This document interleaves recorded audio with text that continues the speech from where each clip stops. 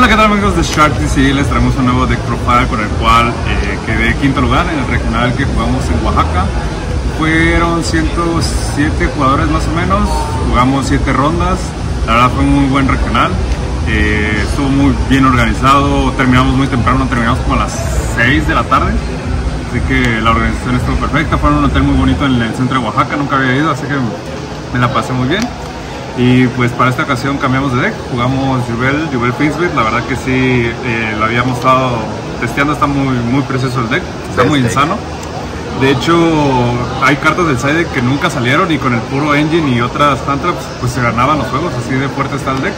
Y pues el Snake por ahora no, ya dejó pues, de ser el mejor deck, sinceramente, hasta que salga Rachel de Abyss, pues ya a la hora que estamos grabando este video, ya se anunció la Volcanics de los Fire y pues ya está confirmado la Samina, que eso no era nada de sorprenderse y pues puede que llegue a ser nuevamente el mejor deck, ya sea Fire King y eh, Snake con Asamina. Pero bueno, antes de comenzar quiero mandar muchos saludos, como siempre, muchas gracias a Eric, que siempre está detrás de la cámara y apoyándonos, como siempre, nuestro gran amigo y patrocinador.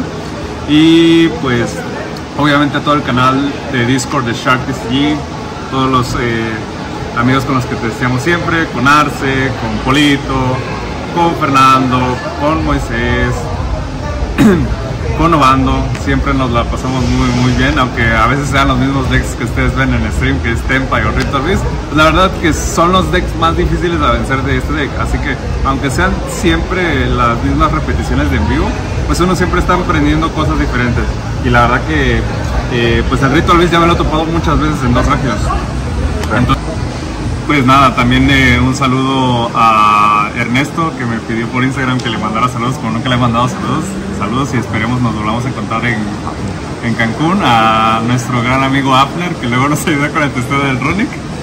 Eh, pues sí, a todos los amigos de, que nos ven en stream. Nos tocamos como dos vatos, dos compillas que siempre están en el stream ahí en el canal de Shark. Sí, no olviden seguirnos para para los streams que hacemos. Uno fue Ivancito y el otro fue Tlacomulco, que estuvo chistoso con su cara en, rondas, pero bueno, así es esto. Y pues un saludo a, Mariana como siempre. Y pues nada, les vamos a mostrar el deck. Jugué 43 cartas, es el número ideal. Eh, la mejor carta del deck, diga lo que diga Eric, esta es la mejor carta del deck. Y, ¿saben por qué es la mejor carta del deck? Porque siempre la vas a robar cuando pierdes dados. Y así me tocó. Siempre que perdía dados, la robaba mucha, una, un, eh, Ivancito pensó que traía Tempai porque pensó que iba a tener Shift. Le dije, no, Purulia. Aunque no me bajó cartas de. una Solo una carta de la mano. Porque jugaba Quimera y no necesita bajar de la mano. Pero por ejemplo, contra un Sprite, lo destruí con esta. Y la verdad que sí está muy, muy buena esta carta.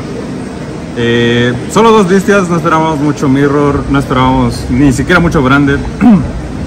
Nos tocaba mucho Quimera, pero no Branded, la verdad. Eh, se rifaron eh, no, los movería. siento que yo que son dos hand traps que deben de ir sí o sí por si en algún momento te llega a tocar un mirror.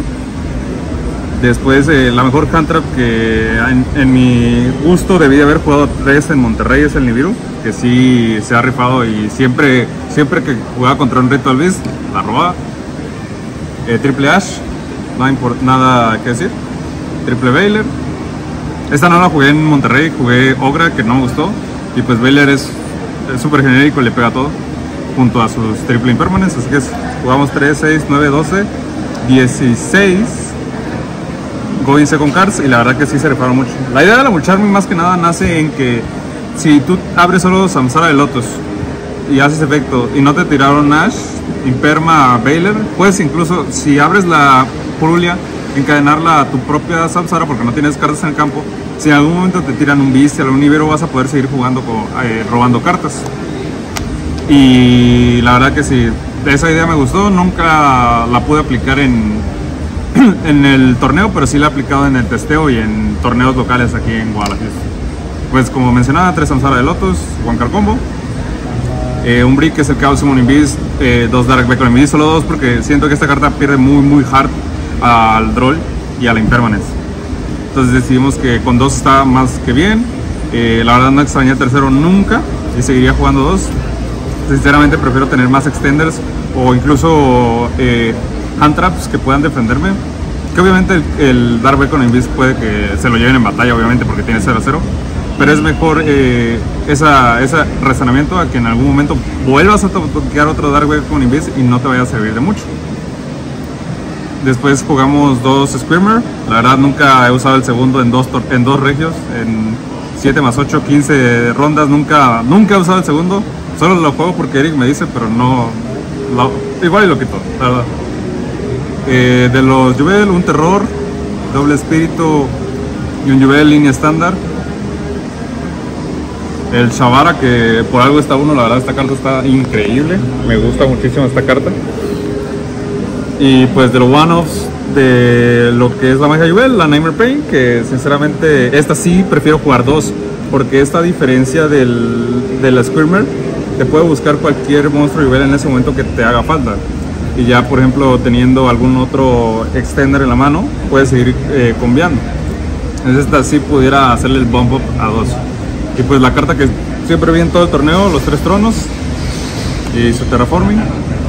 Eh, un match que la gente veía que por qué agregaba el Dark Economies y el chiste es que puede agregar cualquier eh, demonio 0-0. Está muy chido eso. Y pues de lo Finsmith, a diferencia de mis propuestas con el Snake Ash, juego 3, a pesar de que obviamente el Droll se lo come, pero este deck no tiene tantos Special Summons como lo tenía el Snake Finsmith o el Snake Ash Tira Finsmith. Entonces sí ocupamos los tres junto a Lurri obviamente y su Tractos. Hay gente que juega dos, Moisés me preguntaba por qué no jugaba dos.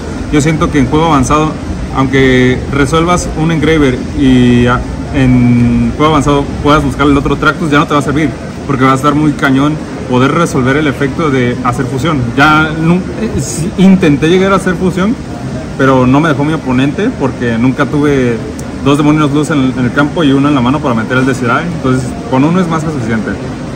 Y pues One for One, la Opening, que está rotísima esa carta. La Cobra Grave, la Von Graf Gerufen, siempre rifándose.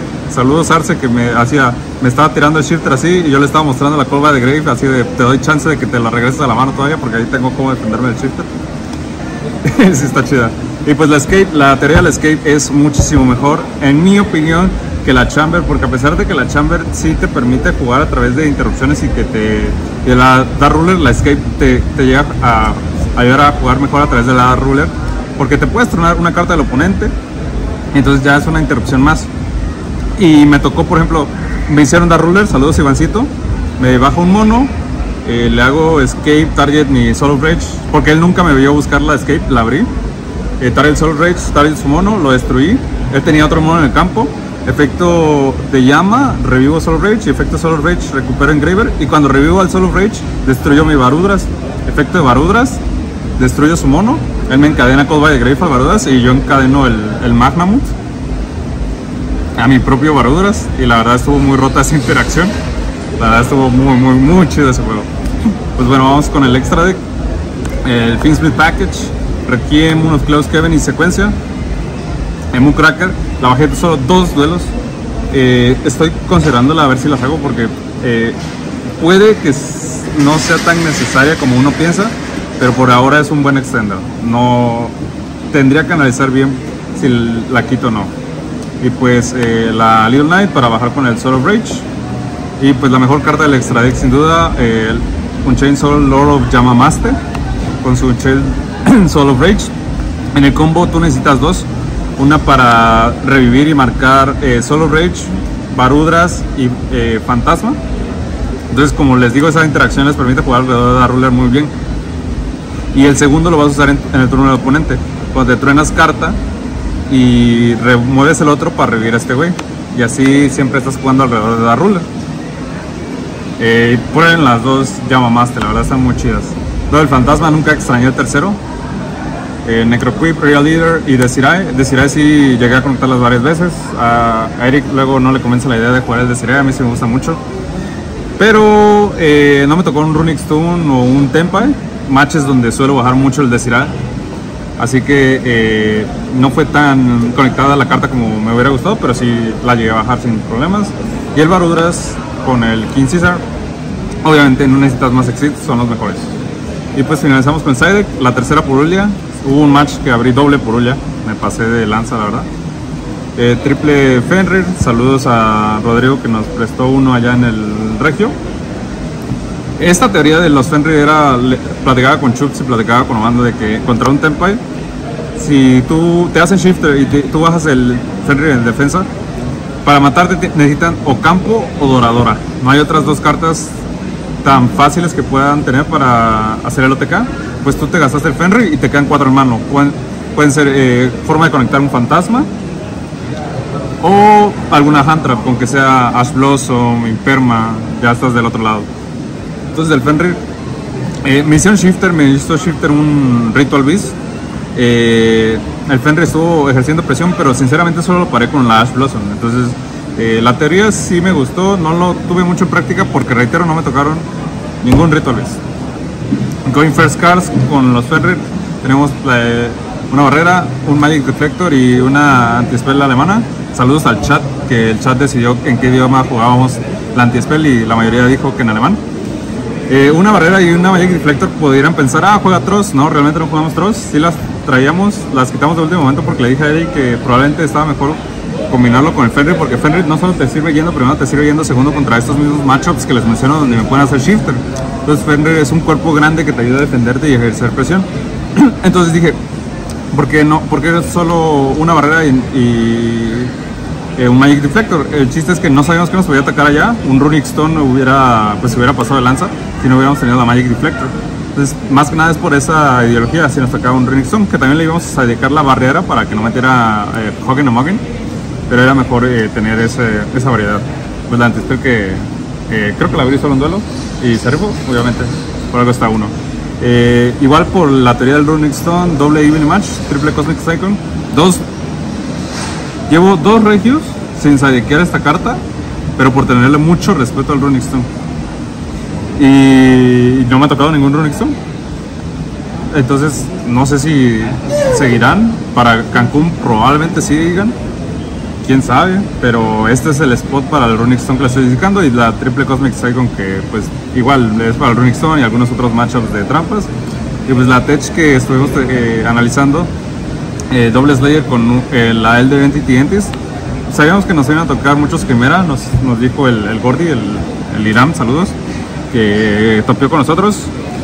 Que realmente esta carta sirve mucho contra el Mirror, porque en el Mirror, les menciono, te pueden dejar eh, cualquier board, pero en ese board siempre va a estar el fantasma.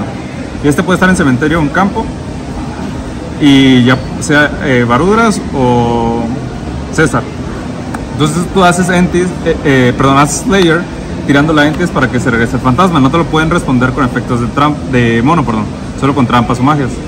Entonces lo regresa al extra deck y la Entis triggerea y puedes tronarte al Barudas o al César. Entonces te estás trayendo una carta por dos. Y pues el, el Barudas, si, si negó, está bien, no pasa nada. Tú te puedes estampar ahora con él en el mirror. Eh, no nos tocó ningún mirror. También la, la, otra teoría era contra el Quimera. El Quimera te va a dejar este seteada una quick play y eh, en el campo el mono que el que te tiró una de la mano. Entonces la tiras, no te pueden responder con el maizal ni con el, el espadachín. Entonces ellos te tienen que responder con la quick play te pueden bajar cualquier fusión, te da igual. Lo bueno es que no te bajan Guardián Quimera. Entonces lo que caiga te lo puedes intentar tronar con la Entis. Y si lo niegan con el Maizal, pues ya forzaste dos interacciones. La más importante es la de atrás, la Quick Play, que luego no sabes qué te pueden meter. Y, y desafortunadamente no. Sí la sellequeamos contra Ivancito que traía Quimera, pero no la vimos. Si no hubiera estado perrísima. La verdad sí me hubiera gustado jugar tres en teoría sigue sonando bien, pero todavía no la hemos aplicado como debe ser. Eh, pues nada, eso es todo el profile que tuvimos para jugar en, en, Oaxaca, chicos. Y pues nada, espero que nos vaya muchísimo mejor en Cancún, conseguir nuestro top allá en el YCS. Vamos a estar ahora sí todos los tiburones. Y pues esperemos que nos vaya chido en, en el YCS con varios tops. Y pues nada, quiero mandarles unas últimas palabras realmente a todos ustedes como suscriptores y gente que siempre nos está apoyando. No olviden caerle a los streams todos los días que vamos a estar eh, practicando Road to YCS Cancún. Y pues hasta aquí vamos a dejar el video amigos de Shark no olviden suscribirse, darle like, compartirlo con sus amigos y hasta la próxima.